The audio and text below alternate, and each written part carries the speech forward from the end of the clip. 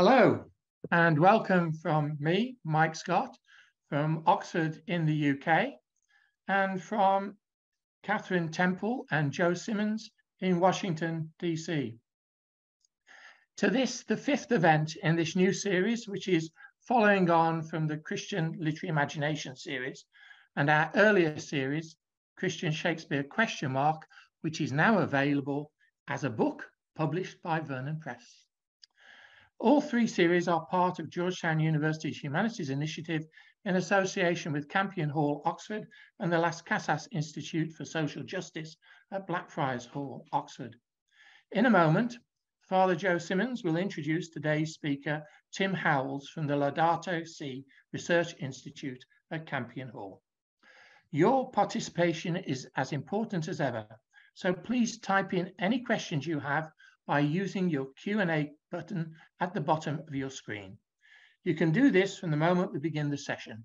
Tim will endeavour to answer, answer your questions in discussion with Joe and Kathryn towards the end of the event. Ensure, please, that you use the Q&A button and not the chat one. one. So over to you, Joe.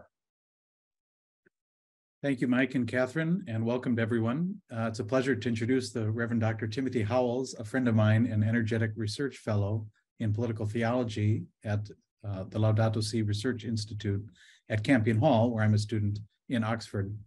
Tim completed his doctorate in 2018 under the supervision of Professor Graham Ward, who's also my doctoral supervisor.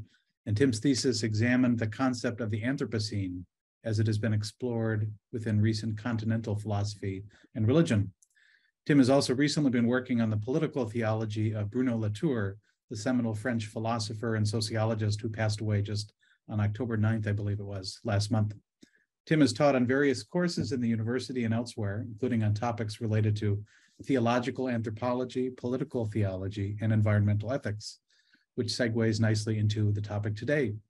Today, Tim will present on Sebastião Salgado, I think that's how you say it, uh, photographic images of a world in distress, so without further ado, I pass it on happily to Dr. Tim Howles. Welcome.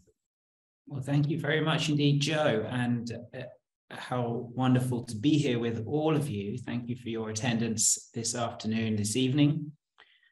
I'll just begin by uh, entreating your grace, really. I'm not actually a technical specialist on uh, photography, and so I come at this theme as uh, somewhat as an interested amateur and with a great passion for the work of this extraordinary um, Brazilian photojournalist.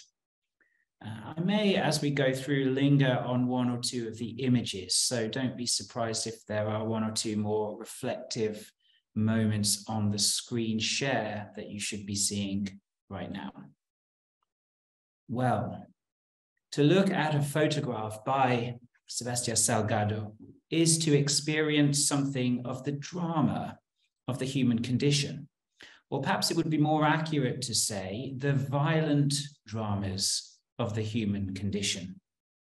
Human beings laboring in harsh or inhumane conditions.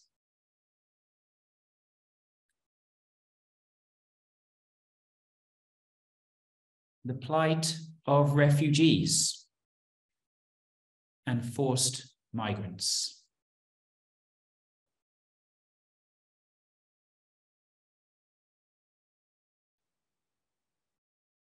And indeed, the horror of genocide and war and all its impacts upon us.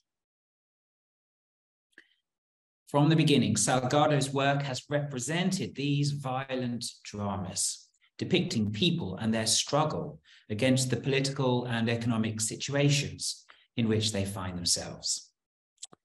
Now, I think there can be no doubt that Salgado's photographic vision, with its socio-economic critique, can be traced to his own context, upbringing, and life journey. Born in 1944 in the small town of Aimorés in the state of Minas Gerais, in southeastern Brazil, Salgado grew up on a cattle farm owned by his parents. Quote, I was born with images of heavy skies pierced by light.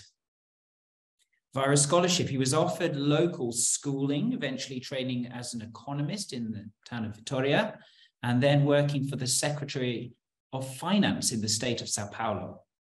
He became involved there in left wing, even Marxist student politics, and began to engage in activism against Brazil's military dictatorship of the time. And as a result, in 1969, Salgado and his wife Lelia fled to Paris and their passports revoked, began their exile in that city with their young family.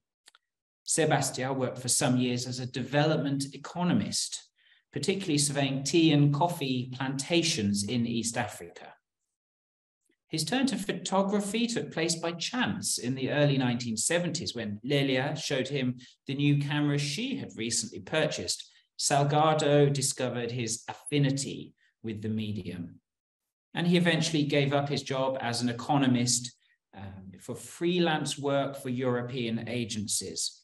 This frequently involved uh, small advertising commissions, Uh, which he continued for many years. And fascinatingly, he was also the photographer who happened to catch the attempted assassination of President Ronald Reagan in Washington, D.C., March 1981. This is his photograph. But increasingly, Salgado was able to embark on foreign travel for large scale photojournalistic projects, often in hard to access sites in Africa, Latin America, and Indonesia. His work in these locations is characterized by partaking physically of the space in which his subjects inhabit over an extended period of time, and by a highly, I would say, nuanced understanding of acceptance and consent from the subjects he is capturing through his camera. And whilst his magazine and advertising work has always usually been in color, his own photographic projects have always been shot in monochrome, black and white. Salgado's work has been published in various photo essayistic books from the late 1970s onwards and is frequently displayed in some of the finest galleries in the United States and Europe, where his prints can sell for large amounts to an elite Western market where they can be hung in your hyper modern living room. And I would commend, if you're interested to find out more, the rather absolutely beautiful 2014 documentary film Salt of the Earth for a depiction of his life and art. Now, Salgado himself is a political actor in the world of Brazilian socialist politics.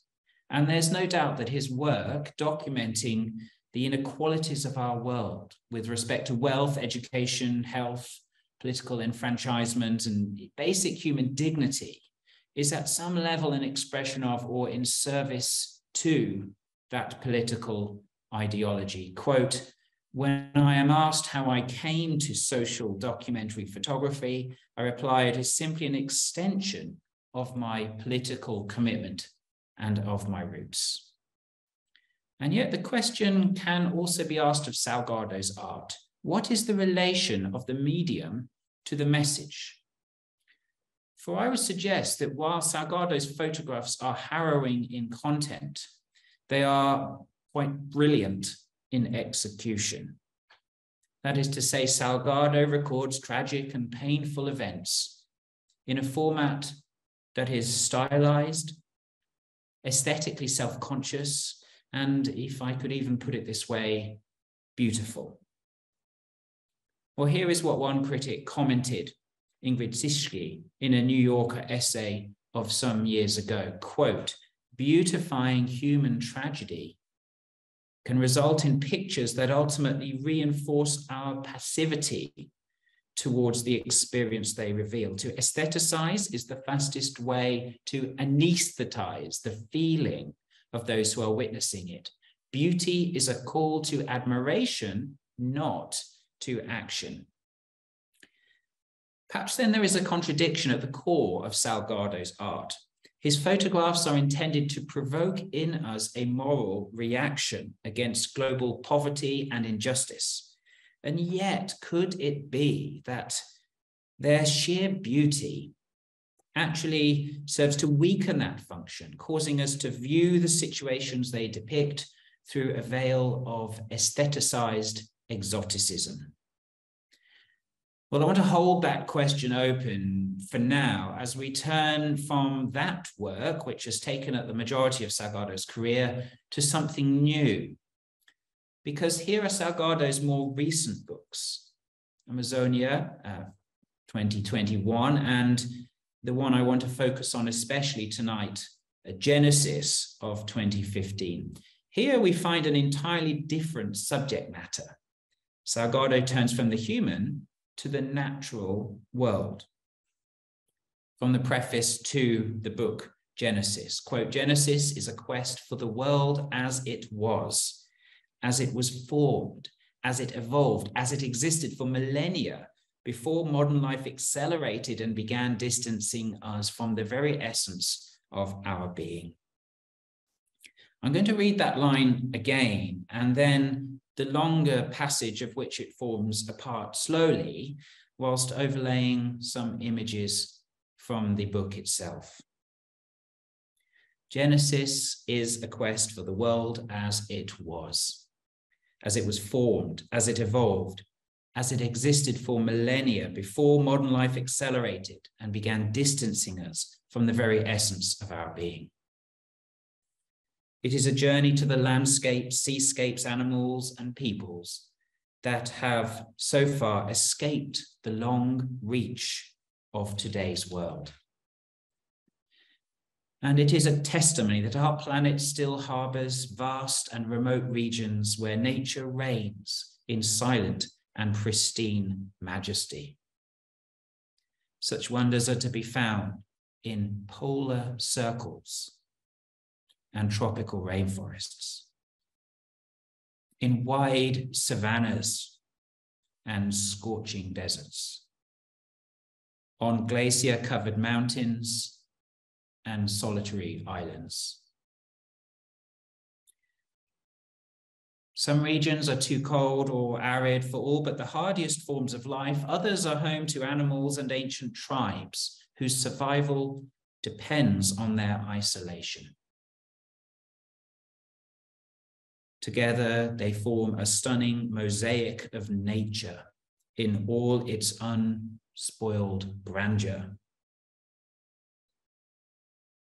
Through these photographs, Genesis aspires to show and to share this beauty. It is a visual tribute to a fragile planet that we all have the duty to protect. End of quote from the exhibition catalogue.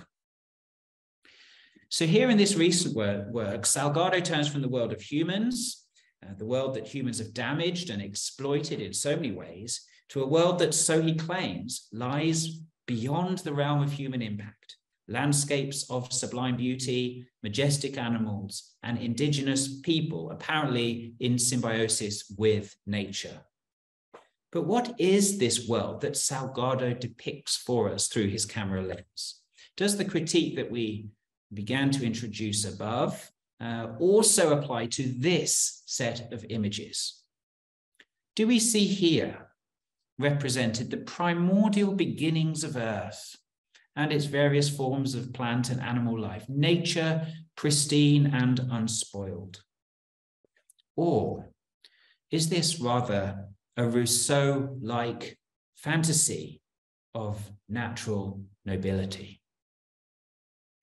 Or again, what do we see when we view images of indigenous people supposedly in harmony with the rhythms and patterns of nature? Are these images, once again through their sheer beauty, causing us to filter their world through a veil of aesthetics? Now, these questions, I think, are relevant to us. After all, we might sneer at the commoditization of Salgado's prints as they're displayed in galleries and sold to wealthy buyers in London, Paris, and New York. But is it not the case that we too engage with Salgado's art in the bubble of our own seminar here tonight, pondering the world he depicts through the medium of a screen? Are we too commoditizing the view of the world that Salgado offers? Well, in the few minutes remaining, I want to claim that Salgado's photography can answer those challenges. And I want to share with you why I think Salgado's art is a vital resource in calling forth in us the moral response that is necessary at this time of environmental crisis. Now, I can only hint at some of the ideas here, but uh, here are two, and we can consider more in the discussion that follows. Here's the first one. I'm going to suggest that Salgado's work moves us beyond a naive representation of the planet as undisturbed by humans and compels us to acknowledge the moral relationships with other species in which we find ourselves inexorably entangled. So, take for example animals. Animals. In Salgado's photography, we find animals apparently disturbed by the photographer's presence. We find animals apparently fearful of the photographer's proximity. And we find animals apparently fleeing the photographer's movements. These photographs complicate the idea of a nature beyond the reach of humans and foreground, albeit symbolically, the fact of human intrusion into their space. Elsewhere, and taking this point a little further, Salgado's photographic images seem to foreground the complex, exchanges between humans and nature. We find animals in apparently anthropomorphic gestures, like these two rather love, loving uh, albatrosses. We find animals in configurations that seem somewhat patterned according to what we might call a proto human social organization. And at other times, I wonder if Salgado's eye seems to linger on details of animal form that call to mind a human anatomy, as if nature is that which inexorably calls forth some part of ourselves. Here, then, the human nature divide is rendered fuzzy or contiguous and by querying our differentiation from the world, these images cause us to question the nature of our interactions with that which is apparently other. As Salgado's work, as you've seen, is also notable for its depiction of uh, indigenous people. He says of his own work, quite, quote, I wanted to show how some people are living in equilibrium with the planet, just as we, we Westerners, surely did thousands of years ago. Now, the human subjects that Salgado depicts, uh, on the one hand, can be read as um, uh, through the lens of innocent, natural simplicity.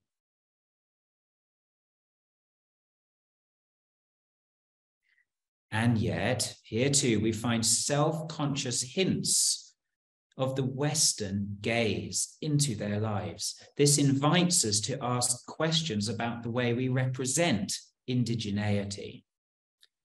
For example, Salgado asks if there are indeed ways of seeing that can be considered innocent, whether ethically or politically.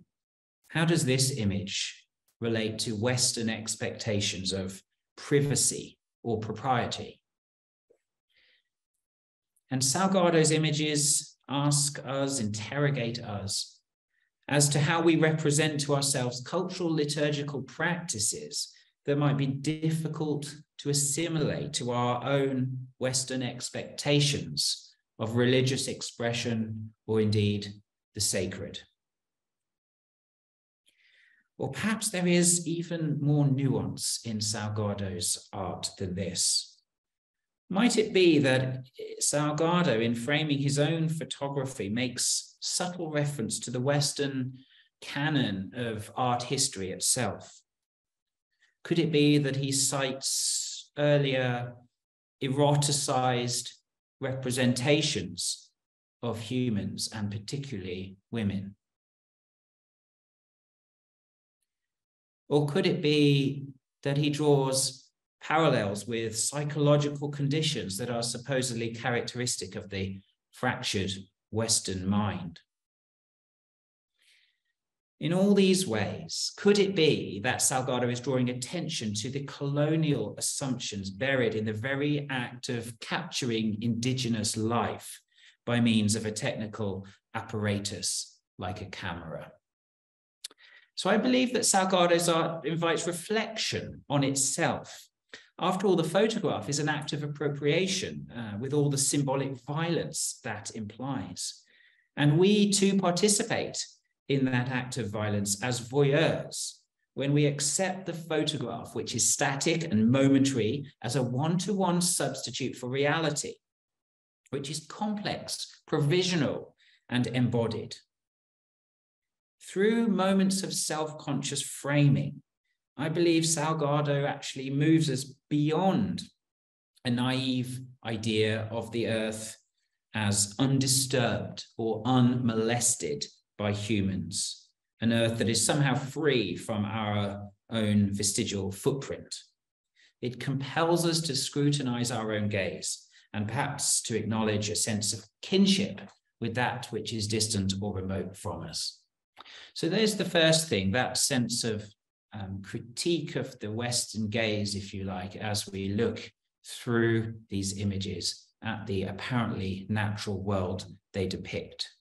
But secondly, and, and finally, um, as well as that, I think there's something else here, and that is Salgado's work critiques the idea of the frozen image, the frozen image, and invites us to develop our awareness of spatiality and temporality, the deep story we inhabit on planet Earth.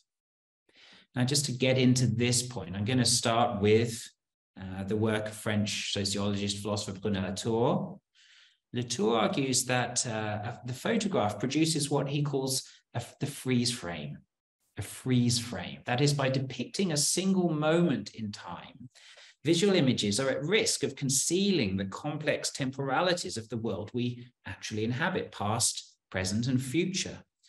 They risk presenting to us a situation that, as it were, is just is just the way it is or just the way things have always been quote from Latour like a black box the photograph packs away the history of the world we inhabit the density of its evolutionary branchings the contingency of its present configuration and the openness of its future possibilities now, for Bruno Latour, the photograph as freeze frame is actually emblematic of Western modernity itself.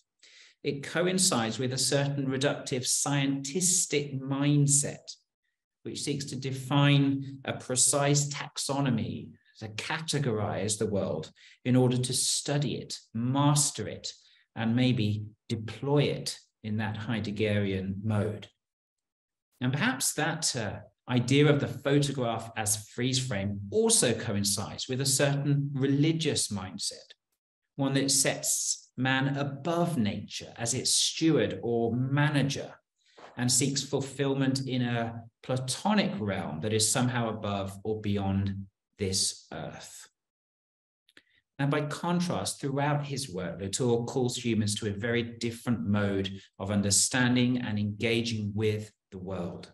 We're to resist the lure of the freeze frame, that detached position from which we feel able to look down on the processes of the Earth system as if they don't apply to us, and to regard voyeuristically places that seem conveniently remote or primitive, as if they're nothing to do with us.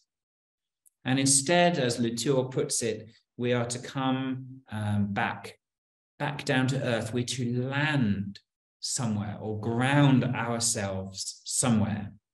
We're to understand ourselves as existing within the frame of reference of this world, to be embedded in its processes and responsible to its distant regions.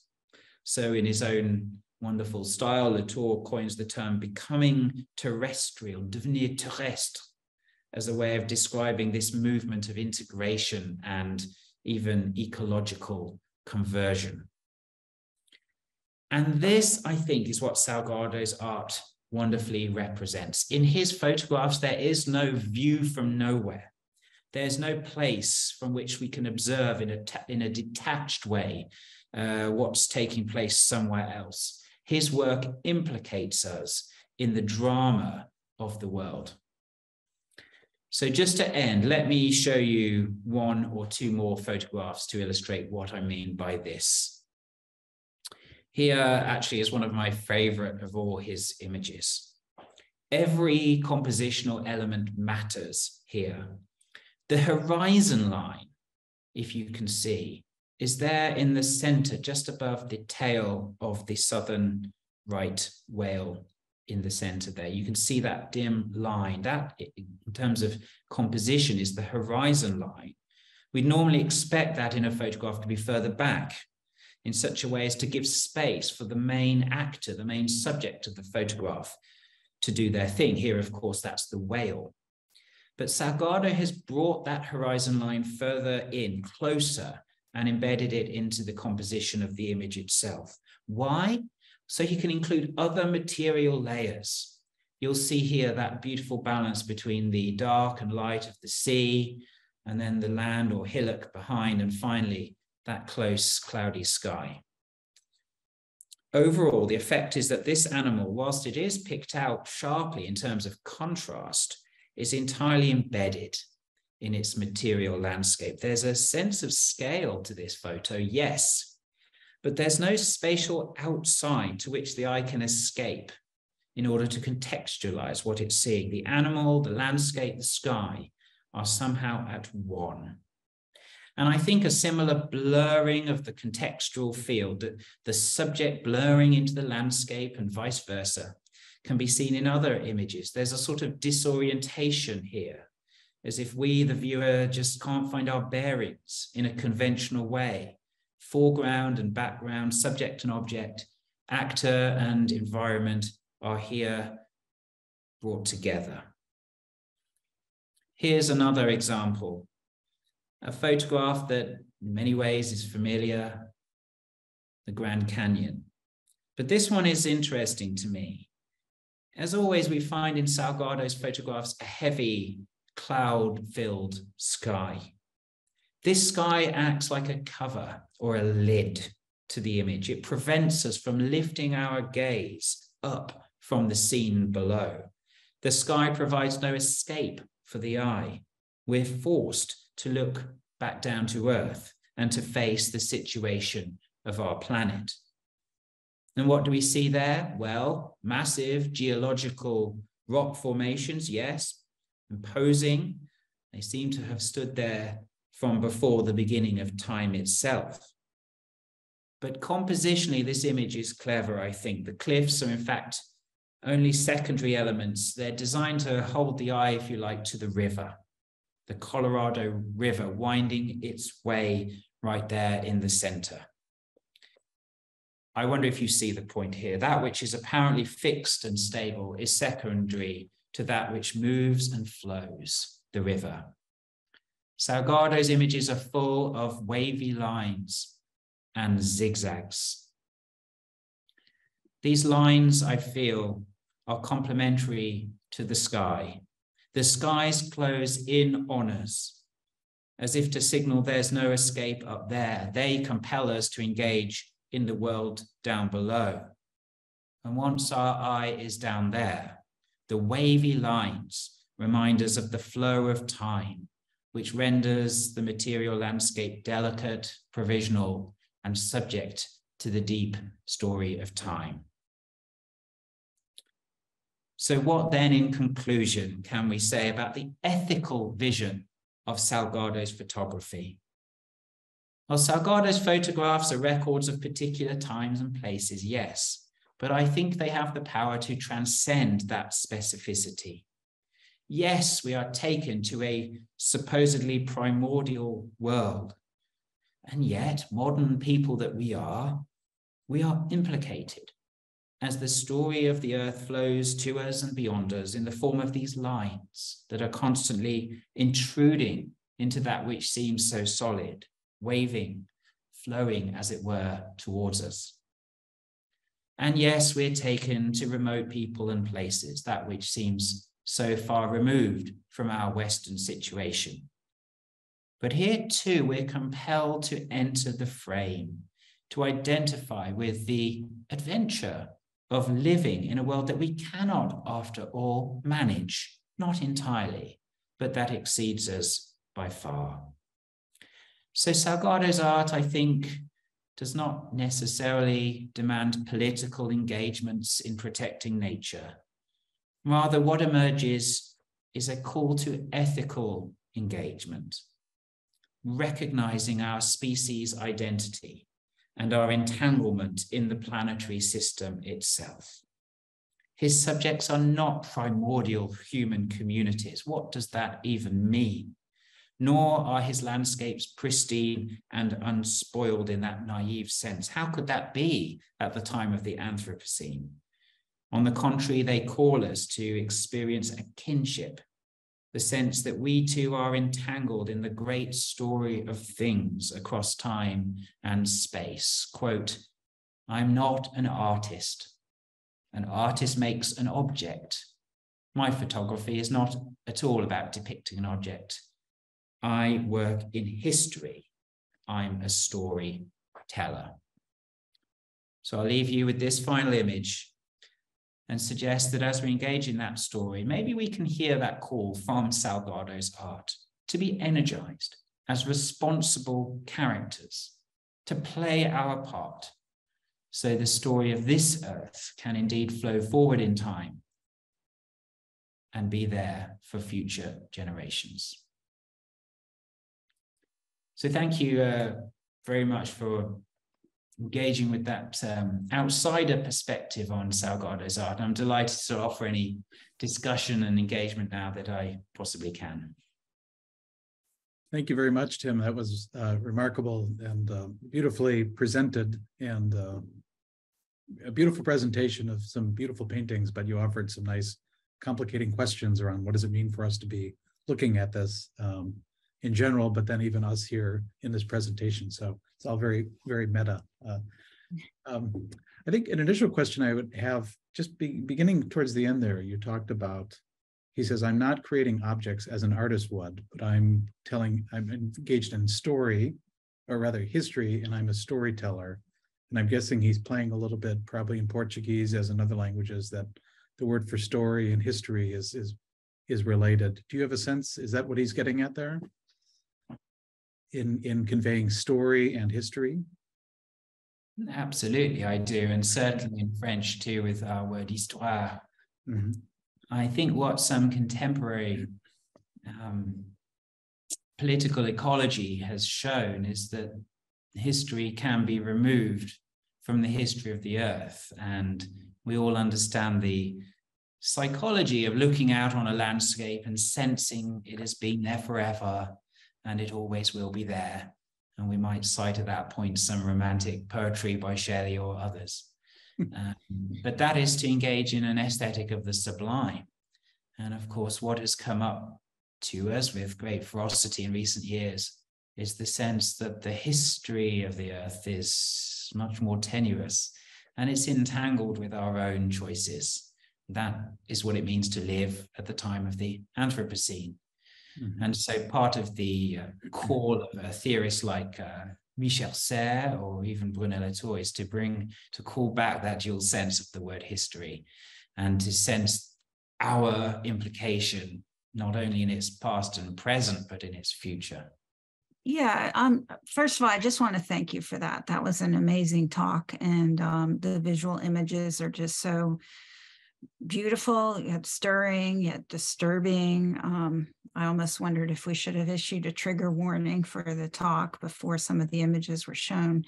Um, but one thing I wanted to talk about was I mm-hmm. just had a feeling of um, uh, dehumanization and even, I don't know if there's a word for it, de animalization. And so many of the visual images. Um, where people are presented in these sort of anonymous crowds or with their back to us, or animals are presented as a part rather than the whole. And I just wondered if you could speak to that.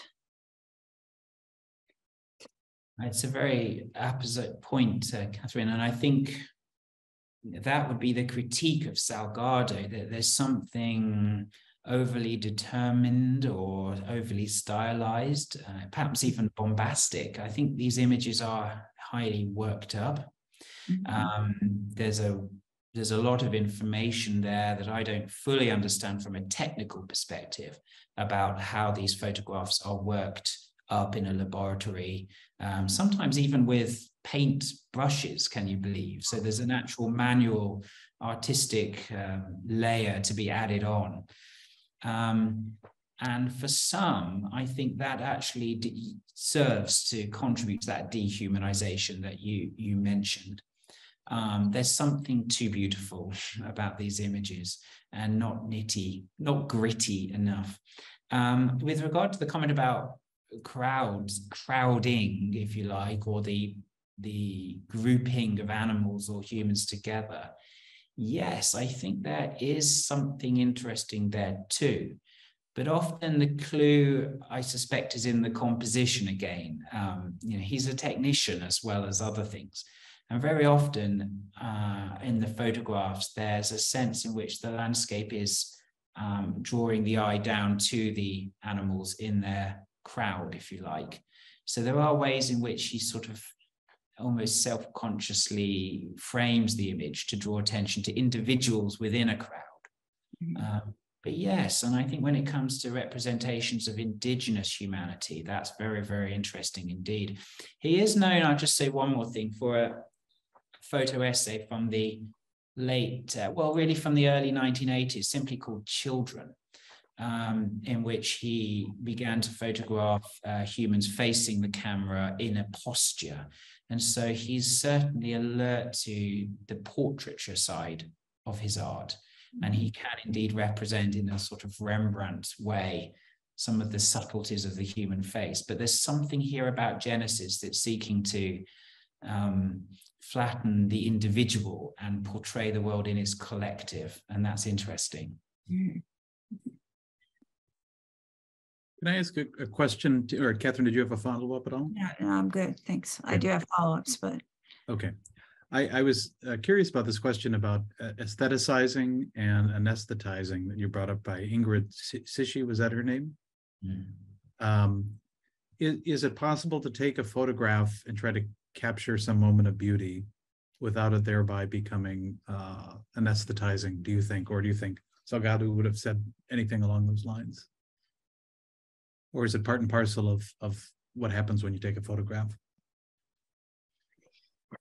Well, these are the great questions to explore, aren't they? There's something about the photograph that does uh, anesthetize the real. And I suppose I've tried to suggest that he inserts time and space in subtle ways. He sort of forces through that mm-hmm. barrier, if you like. Um, he has been subject to the critique throughout his career that he um, beautifies that which is ugly and therefore renders our moral reaction um, or flattens our moral reaction. Uh, I personally have taken a tremendous amount from his work. Um, I admire him greatly as a as a human being, and we could go on to discuss some of the ways in which he's lived out his moral vision in his own life, and if you like. Um, and I think that it's the self-consciousness of the medium that the, ca- the camera is framing that which is um, progressive, changing, and in flux. It does frame and solidify that. And he is conscious, unlike many of his um, colleagues, that that is an act of appropriation and is itself a moral stance. So it's the subtle ways in which he decodes or deconstructs that that I'm, I'm interested in. I think another important point with Salgado is his dual nationality, that he does live in that liminal zone between the global south, if you like, and then this, this you know, his bohemian Paris. Um, he still lives in Paris. He's very much at home in the world of Western networks, artistic, cultural networks he's fated and in the Guardian and everywhere else. And yet there's something still about his exile state, exilic status, that he does still inhabit the world of his upbringing and youth. And I think it's that duality that gives him an interesting perspective here. He straddles two worlds, if you like. Mm-hmm. Yeah, you have to imagine what it's like when he's presenting art in Paris or something, and people are like, "Oh, that's just so lovely how you brought It. feeling sort of." Um, be, is he contributing to some sort of exoticizing of, of what is beyond or what is not, you know, urban and European? Um, you know, probably wondering, am I am I part of the problem I'm trying to fight here?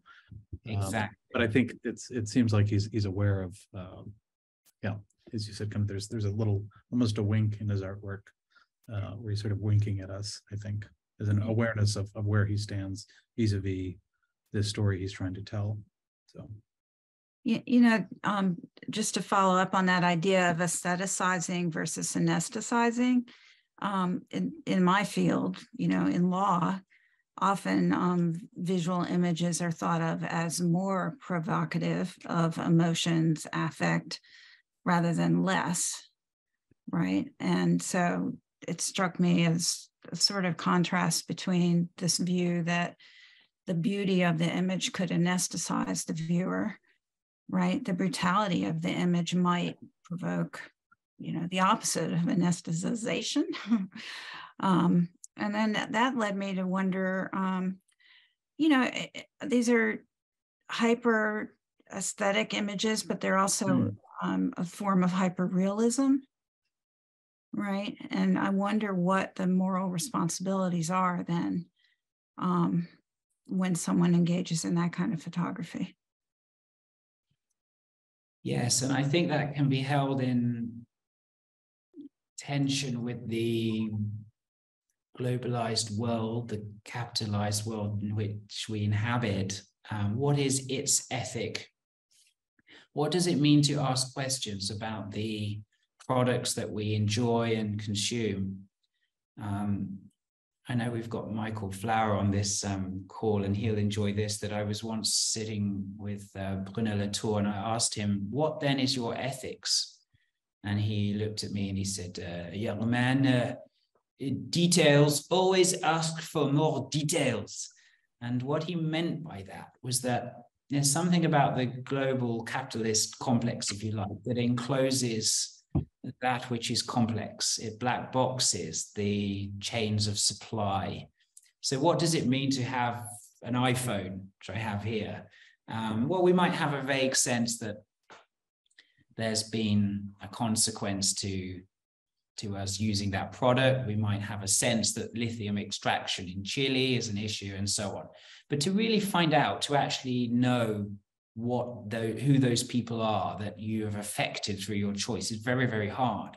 And that's kind of the point isn't it? They they want they don't want you to find out. You can google maybe their own website will have some information. You can try and latour's idea was that actually to be ethical now is to really push through to demand answers to to keep searching going to those remote places to find out and that is the that is the revolutionary ethic if you like mm-hmm. um, that he calls us to engage in. And I, I suppose I've tried to argue here that Salgado's art, completely different medium, is doing the same thing. It's for it's foregrounding its own aesthetics, if you like. Um, it's even relishing its display in galleries in Paris and New York. But it's demanding we go further. It's saying, will you be happy with this representation? Or will you actually look for the life that lies behind it? And perhaps that is a worthy ethics for the 21st century. Mm. Um, we do have a question, uh, um, interestingly enough, from Michael Flower, um, which is uh, your commentary about the images helps us think about the process that has spun the frozen frames. What among the rich possibilities of imagination do you think are more important to bring to bear? what are key viewer sensibility what key viewer sensibilities are should we bring to the fore yes thanks michael and of course uh, we've just said a little bit now about ethical the ethical sensibility or affect to which this calls us but i think you're it's interesting that you talk about the processes and there is something here and salgado himself is known almost exclusively i would say amongst the premier global um, photojournalist for his highly immersive um, practices in the communities that he documents. And I think that is greatly to his praise. I mean, it's fascinating, of course, that he's had to be so um, away from his own family um, for so many years. Uh, he has two two children, one of whom has Down syndrome. And of course, he's been away in the Arctic and in the remote regions of the Amazon for months and months and even years at a time. So it's an immersive process. And he, you know, as you read more about his technique, you understand how he's beginning to engage in the real lives of those he he photographs. And I think he does have a, an interesting concept of consent um, with regard to those communities he captures. So the process is absolutely crucial and I think gives some edge to the ethics of this art. Mm. Tim, we have a question from another Tim, Tim Middleton, who we both know from Campion. Um, he says, Thank you so much, Tim. I'm interested in why Salgado calls his collection Genesis.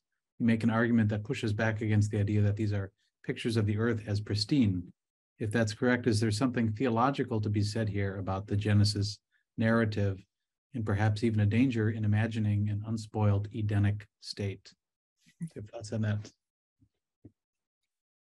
Yes, well, it's absolutely crucial that this particular book is called Genesis, and it's a self conscious riff on biblical theological thematics.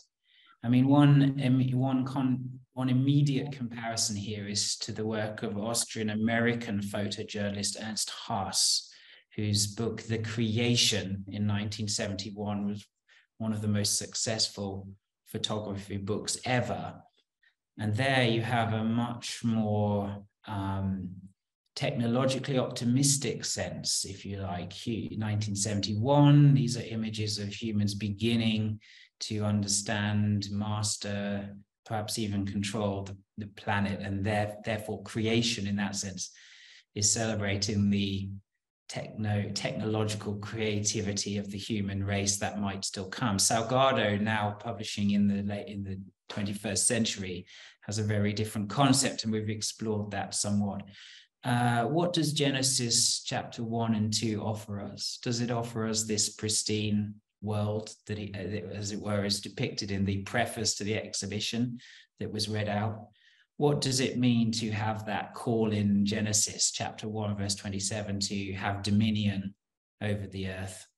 Um, that, as, as you know, Tim, that Hebrew word radah is a contested word throughout the Hebrew Bible. Um, it's in, you know, later on we'll hear the prophets say to the kings of Israel, Are you radaring my people with justice and equity? Are you leading? Are you are you are you stewarding them appropriately? So in some ways, within the biblical, within the pre-fall creation narrative, there's that call to human beings. How will you radar? How will you lead, master, and so on? Now we might want to critique the sort of stewardship ethic, and I think it is worthy of some critique, but it, it, it handled in, in, its sort of most agile way. I think the biblical account is calling us to something like this ethical um, sensibility. Um, but no doubt there's a slightly more um, naive sense of the pre-fall world. You know, are these images depicting the pre-lapsarian world in some way? But yes, it's in dialogue with the with Christian theology throughout. We have a comment, which I'll sort of turn into a question from um, Michael Collins at Georgetown. Um, and I guess it's a, a, request to talk a little bit more about beautification. Um, Mike says uh, the issue of beautification reflects the perennial tension between what the poet Mislas calls classicism and realism. Without the artist's shaping hand, we are left with, quote, a heap of broken images, end quote. With that shaping hand, the images begin to be sanitized, shaped into beautiful forms, and the Renaissance artists faced the same tension once representation became the norm, right? So I guess I would want to think a little bit about um, how Salgado is um, um, interacting with that tradition, intersecting with that tradition, or maybe critiquing that tradition. Yes, and I would add to that the tradition of the romantic uh, sublime itself, informed, if you like, by the Kantian sublime as that which, as it were, triggers in us a judgment. Um, and yes, I would agree with this question, this point entirely. There's a self-consciousness about the artist's shaping hand in these images. And perhaps a question back to us then is, is there something about photography that requires that um, more than poetry, more than landscape art, more than music? Is, is, is it inevitable that we should sense the photographer's gaze, or is Salgado more self-conscious, more foregrounding of that? Um, and perhaps then he, as an artist, is fulfilling that creation mandate to not only to subdue the earth, but to fill it to shape it, um, to be a co-creator, if you like, with God, in the sense of applying form to that which risks lapsing into formlessness. So very important um, sort of questions to do with philosophical aesthetics there. Tim, I had a, a question for you. Um, you spoke about sort of the, the critique of the Western gaze in specific and um, sort of linking voyeurism uh, with violence. And I don't, I'm, I'm trying to remember if that was your argument or Salgado's or like a third person's. Um, first of all, can you clarify that? Who who was saying that there was something of an element of violence to this voyeurism? And then I have a follow up question on that. I think that was possibly my own uh, wording, and I think those parallel comparative images were um, may maybe have been highlighted in one or two places, but probably in my own attempts to sort of link some of his photographs to that canon of Western art and mm-hmm. say, you know, is there some sense, consciously or unconsciously, in which he's framing these indigenous tableaus in the guise of that which has already been painted in the 19th century mm-hmm. at a mm-hmm. time when as we can all as we know and as we can imagine there was a great highly problematic understanding of that which was non-western right yeah, that Cezanne you had, or uh, think of Yeah. Gauguin, a lot of his work and Exactly, which was Yeah, just you look at it and you're like, ooh, I don't know. I think there's an essay to be written there, Gauguin, Salgado. I'll leave that to you. I'm not a big fan of Gauguin myself. Um, I guess that that pretty much answers my follow-up question. So, and I know we have a, a couple more questions coming in here. So, Kathryn, have you yeah, we have another uh, comment from um, Michael Flower, um, which begins, aha. um, do we look in a state of awe, in a state of attentiveness to detail, in a state of grief as we observe ecological ruin, in a state of a search for the inspiration to enable our politics, in a state of desire that the distant be brought close, etc. I, I think that was, if I can just clarify, I asked him to clarify when he said we bring uh, certain key viewer sensibilities to us, and I asked him, can you specify what you mean by key viewer sensibilities? So I think that's sort of uh, the frame of that question or that comment. So, so what is the frame? Well, I think my, I mean, that's very helpful, Michael, really, because we do need to ask ourselves what will motivate a global population to change their behaviors. And in many ways, what we have found um, in recent years is apocalyptic imagery, warning, um, and fear. And certainly, it's very, very important that we face squarely the facts and figures of the crisis and so on. But as you, as we know, fear is a very poor motivator um, or it can motivate in um, combustible ways. Um, so the idea of beauty or the sublime as motivating ecological change, very, very interesting. And, um, you know, there's plenty of studies, studies out there.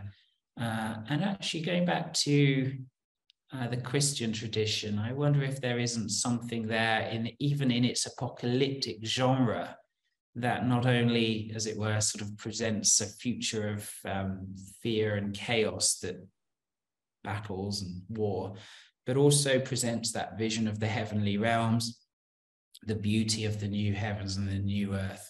and somehow calls us to live in the present in the light of that which is finally to be beautified. So there's something about the call to beauty that is valid from a sort of psychological perspective. And I think from a biblical perspective, and maybe sort of helps us avoid that psychological collapse. You know, we've probably all had it ourselves where we see David Attenborough or something, some image that just so shocks us. And you have that sense of collapse, um, despair. Um, this is what we're doing to the world. Um, it's very hard to get up again off one's knees, isn't it, when that happens and be motivated for change. I think Salgado offers offers something to the world through these images. That's a, a, wonderful point, I think, to close on as we only have a few more minutes and we do have some announcements um, from Michael Scott. Um, but there is there is a sense of coming back to some of the earlier issues we raised about the responses to environmental degradation and the value of hope as opposed to despair. So thank you very much for that. Um, Michael, I will turn it over to you. Well, thank you. Thank you, Timothy. Uh, thank you, Joe and, and Kathryn. It's been fascinating listening to all of this. And uh, I was just reflecting now, actually, on some work I've been doing, um, actually relating to Macbeth, uh, coming from Eagleton, talking about moving your your, your men mentality in, in looking at a play from a linearity, because we're dominated by linearity, to something else, which is to movement, to circularity, to things moving, just as those uh, those beautiful uh, photographs were showing the movement, the pattern of movement that is going through, and uh, and, and, that comes that comes through from uh, in in the theatre. So uh, it was resounding with me in, in in many ways. So thank you, thank you, Timothy, for for a terrific uh, terrific uh, event. And, and thank you, thanks also to the people who've been asking questions because the questions were were so uh, so pertinent and and just took the conversation on uh, with with Kathryn and Joe. So uh, thank thank you all very much. This is the uh, the last uh, session through this term, but do not fear, we've got an amazing term coming up, starting on Tuesday, the 24th of January, with Adrian Gali uh, who asks, what does biodiversity loss feel feel like? I'm looking forward to that. And then on the 31st of January, Nathan Hensley talking about J.M.W. Turner's Burning World. And on the 7th of February, um, we've, we've managed to be able to get the Slade Professor of Painting, Estelle Thompson, who's going to be talking about contemporary art in public places. Now, 14th of February, we've got a music, musical one because we've got the international uh, viola uh, artist, uh, Graham Oppenheimer, who's going to be talking about his instrument, the viola, as an instrument of nature, come from wood. Uh, and then he's going to link that in to the music of the environment and he's going to play some music to us as well to go with to go with with uh, with all of that. Uh, and then um, on the 28th of February, um, we've got uh, Tali Chilson, um, who's Jewish, and she's going to be talking about uh, the East End of London and the rise of the suburban novel and indeed drama. Comes out in the 19, 1930s and moves through uh, through the century uh, and actually, she was she was around here this morning. Uh, uh, we were talking about it and talking about something we've also got on on December the sixth, which is the launch of a of a book related uh, related to this um, at uh, at Blackfriars. So those of you in the UK, look out for uh, for the notices about about the book launch on the sixth of um, December. There's another Zoom next week, which people might like to note, it's a free speech project at a crossroads, international dialogues event in association with the Future of Humanities Project. And that's on uh, Monday, the 6th of December. And it's on hacking for fun and profit.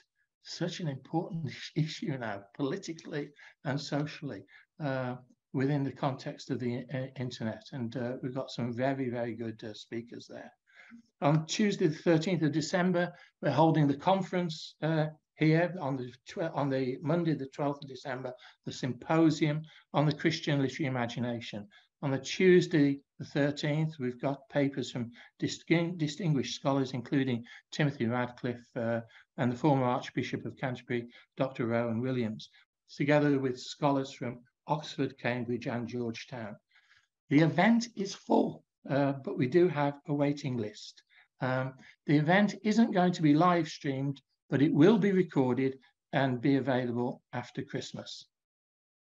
Also, please note, those of you in the US, that on March the 14th at Georgetown campus, Clare Broome Saunders from Blackfriars Hall uh, will be speaking live, face to face, with Kathryn Temple uh, and Victor on Victorian poetry uh, in relation to the Christian literary imagination. Uh, so looking forward to that. Uh, I'd like to thank those at Georgetown University who have made these events happen, especially Julia Murillo and, and Mary Gordon, um, but also uh, Dr. Jack DeGioia, the president, and Tom Banchoff, Dr. Tom Banchoff, the vice president, Global Affairs, without whose support we could not do this. At Campion Hall, uh, Dr. Nick Austin, uh, master of Campion Hall, um, and Joe, of course, who is both Campion Hall and Georgetown at the moment, um, uh, or in the middle of the ocean. But uh, thank you, and we thank uh, we thank um, uh, Ying Ying, uh, uh, Campion Hall administrator for that. Blackfriars Richard Finn, the director of Las Casas Institute, John O'Connor, the regent, Kingo Rana Gabnai, the administrator, and my personal thanks, as ever, to Maggie Scott for the work she does in helping the administration and, and, uh, and keeping my diary in order, certainly. Uh, she's, she's terrific at doing that, and I'm very grateful to us. To her. So don't forget to join us, please, for our free speech session on Monday, the 5th of December at 11 a.m. EST, 4 p.m. in the UK. Then have a good Christmas season and a happy new year. And we'll see you again in, in January with the continuation of this series. Tim, many, many thanks. Kathryn and Joe, many thanks to you as well. I'm Mike Scott. Please follow me on Twitter at Mike Scott Prof. Thank you, everybody, and goodbye.